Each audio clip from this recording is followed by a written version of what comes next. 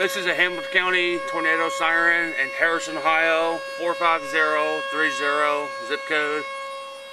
It's on Harrison Avenue and Sandusky Drive.